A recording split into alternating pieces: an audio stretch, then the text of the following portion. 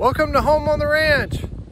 Maddox and I are out here at the ranch today and we're gonna be cleaning up a 50 year old cattle pen covered with vines and branches and snakes. We saw a skunk in here.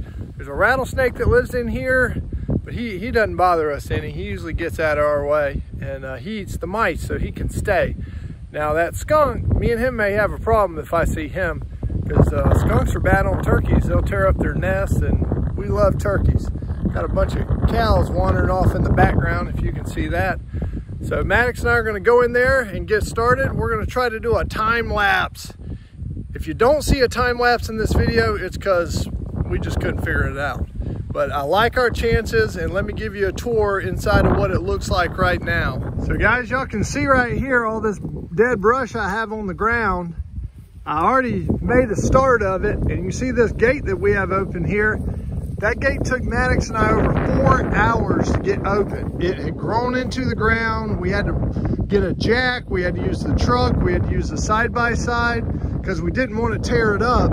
And we were able to dig it out and move some posts around that it had adjusted and got it out of there. And so this is one of four pins inside of this cattle pen system. So you can see we trimmed up these palm trees and cut some small palm trees and this oak tree was touching the ground and we got it all trimmed up. But so this is about a 40 by 40 square and there's four of these.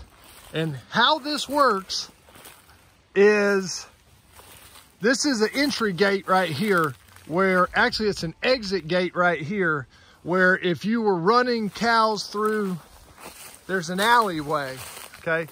This alleyway right here would go to your trailer. So you'd pull your trailer up right there and it's got a little ramp and, it, and the cows run right on your trailer. But this alleyway goes, you see it's all overgrown with all these branches and we're gonna work on that today. I don't think we'll get it all done, but we'll get at least one more pin open. And all four of these pins go into this alleyway. So you could run all your cows through here and then with these swing gates, you could put them in different pens or you could uh, load them up, keep them, separate moms and babies, separate stuff that's going to the market. And the pin we're gonna work on today, I don't know if y'all see these vines everywhere, but they are just, I'm talking about a mess. But this is the pin we're gonna work on today. So you guys in the South here know about these Brazilian peppers that grow just crazy fast. Got to get those out, trim up an oak tree, and get this open as soon as we can. And uh, there is a connecting gate between the two of them. All right, Maddox is breaking brush right now trying to get up to this gate. And underneath all these vines is a gate. And it opens on the side Maddox is on, but it's it's hinged over here. There's some big old hinges tucked away in there that you can barely see that silver thing on the post. But what we've got to do is get this out of our way just so we can get into the pen. Maddox, give it a give it a yank if you can. We need to put some gloves on for sure though. What do you think? Are we gonna be able to move that by hand or should we hook a truck up to it? There's too many vines. I don't even think it's connected. It's not. It's just held up by those vines. If the vines weren't here, it would just fall over. So you want to get the truck, tie it to it, and just drag it out? Just get it out of our way? Break the gate. You think it'll break the gate? I think that gate, even though it's rotted and old, I think it's stronger than those vines. If it's only vines holding it, if we could drag it out of there, then we could drive the tractor in later and mow through this whole thing. All right, let's get the truck hooked up we don't have a lot of rope in here, but I'm gonna try to use the trailer hitch and a dock line for the boat and a halyard off of the sailboat tied together, tied to the fence, and then try to get it going, pulling out some. You know you're a South Florida cowboy when you use a trailer hitch for towing a boat, a dock line for tying up a boat, a halyard for pulling up your sail. I got fishing rods in the back, chainsaw. Hey, gotta have everything when you do this. So once again, we don't have the right tools, but we're not gonna let that stop us today. So I'm gonna just try to make a loop around there. Nope, that didn't work. Let's see if I can get this to get a little tighter so it won't pop off. Okay, that ought to work. And I only know how to tie one knot. It's a bowline knot, but I use it for everything because even though it'll get really tight, it, you'll always be able to get it back undone. If you guys want to know how to tie that that knot, so you can uh, you you can pull a truck out with it, and then when you want to get it undone, you just pull that loop down, and the whole thing comes right undone. No problem. You can get your rope back. Otherwise, you got to end up cutting your knots or cutting your rope and ruining a good dock line. So I'll show you guys how to tie that if anybody wants to wants me to. If not, I won't. And then we'll get this halyard set up. And I'll just do the same knot. I'll just throw a bowline in this side too. And turn one line into two lines.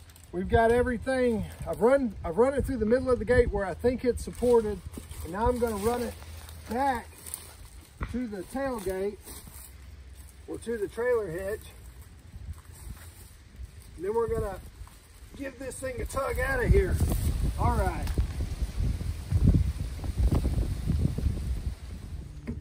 Okay, well, we have the ropes hooked up to the gate. So when my dad moves the truck, the gate will hopefully lift out of the ground and come out so we can get in there and clean up back there. All right, Maddox, you tell me if something's going bad back there. I can't see. I had to close my mirrors, so you tell me if something's going wrong. Yes, sir. It's coming out very nicely.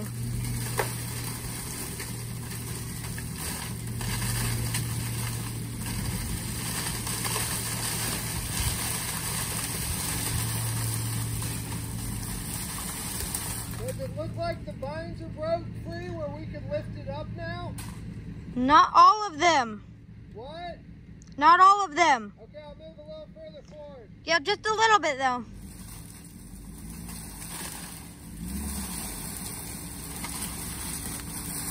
You're good. Okay. Well, we're starting the trimming process with the pole saw. My dad is under there trimming them all up. Well, Oh, that's a big one.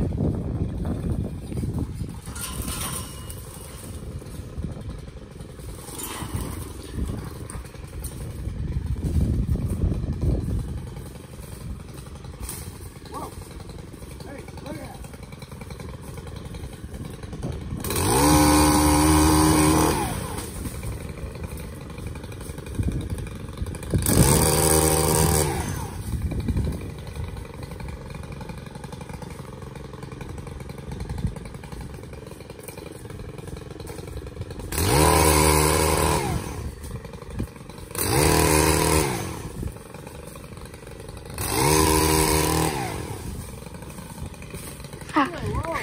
it almost fell on him. All over in here. Hey, He's about to trip.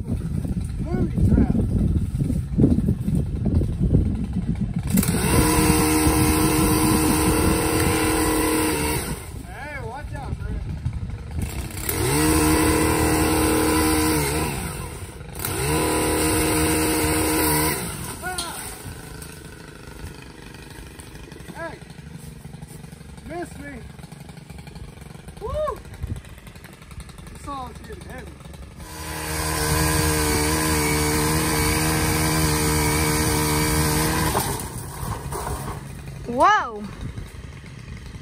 The fence is breaking.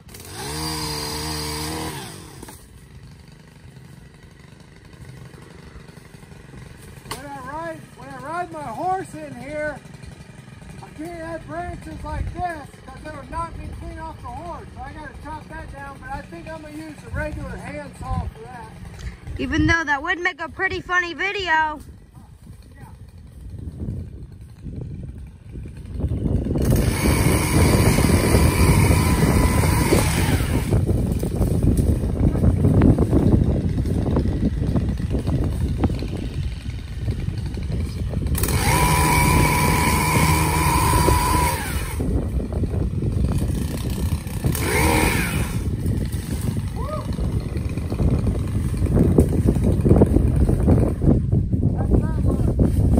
looks much better than it did before. Golly, I got sawdust in my ear hole.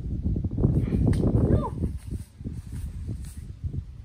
That was a tree ended up growing out of my ear or something. Wow, that is a lot better. Get a little sun in here. I could definitely mow under that Maddox. Now I do have to get that one out or I'll hit the tractor or my head on it. But I think for inside of here, I think that's pretty good because we do want to leave some shade in case we pin them in just this pin. All right. Okay, well that tree was finished over there. Now we're on to this big bush thing.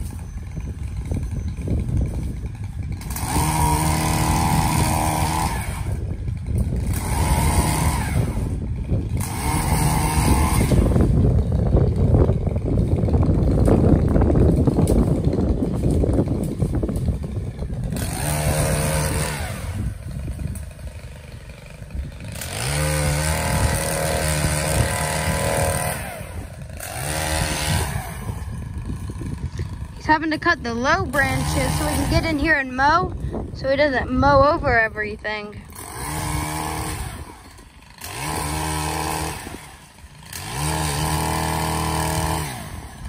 This is gonna be a fun one to drag out.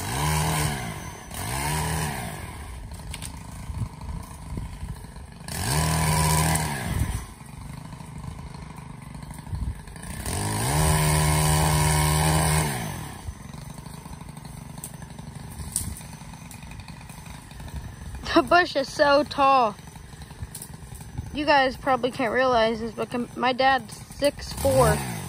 This bush has to be 20 feet tall or so. Look at it, it just goes up.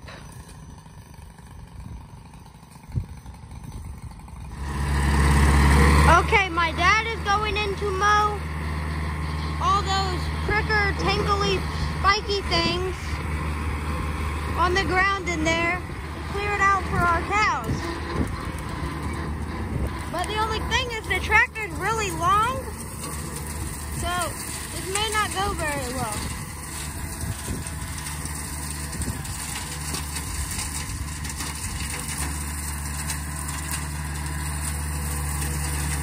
My dad is going in. That tree right there is in my way.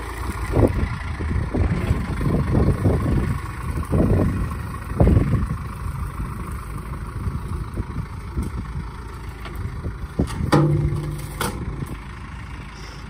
That tree. Maddox, can you come shut this gate? I want to try to get lined up just perfect. I opened this gate earlier.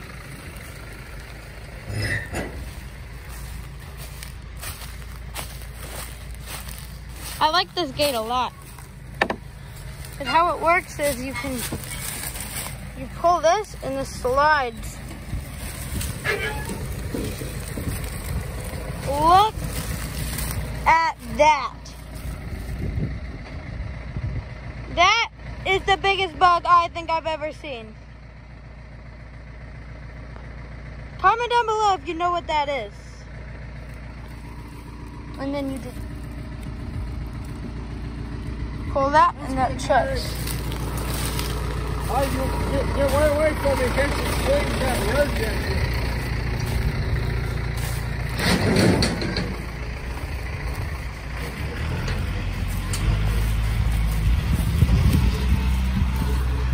Oh, they're side by side.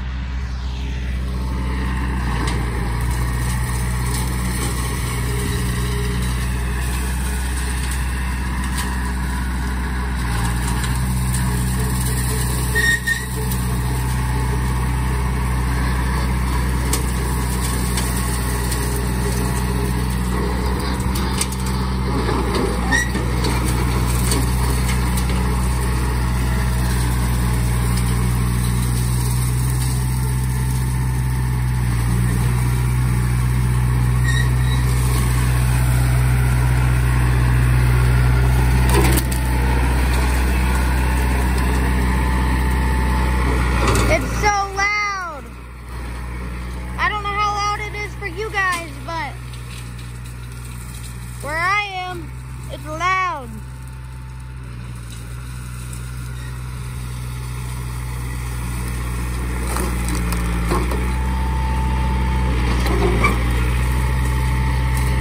Run it over! Run it over!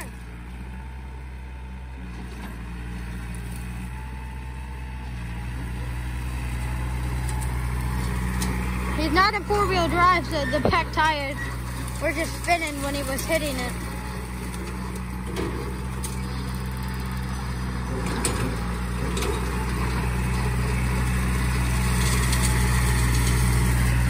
This tree's in the way from me filming. Okay. Well, do you remember what it looked like before we did this? Because it looks a lot better. Oh yeah, you couldn't walk in there with all the vines. Well, shotgun shot. There. So many vines all over the ground. It's not perfect, but it's a head. It, it's a big head start. That tree was overgrown. Oh, it was Oh yeah, really trimmed tall. it up, trimmed That all tree this was up. touching the ground. All this looks like a. Show us the other side. Here's the gate we yanked off. We'll reuse that gate. Yeah, we could barely walk in here dragging stuff out. We kept tripping and falling on the vines. I'm so. Show them where you ripped your jeans. I fell and ripped my Uh-oh, hey. from the thorns. Boy, you kind of eh, got yourself an aeration hole down there. All right, this big tree here is all trimmed up. We can get under it with a on horseback or with a tractor. That Brazilian pepper there, you couldn't even see this fence line over here. Now you can see everything. And these vines will grow back if we don't stay on top of it, but we've got such a good head start. I'm hoping all these vines along the fence here give you guys a good look, look at them. I'm hoping I can weed eat those. And then if I can weed eat them on the bottom, they should die. So, hey, well, we appreciate you guys watching and we really enjoy doing this and we love all you guys that have subscribed and I hope this brightens your day. Don't forget to uh, give us a thumbs up, shoot us a comment, and also hit the notification bell because on Mondays, Wednesdays, and Fridays at 3 o'clock, we're coming to you live. No, not live. We don't do live videos. We're coming to you by video. All right, hit them with that thumbs up, Maddox.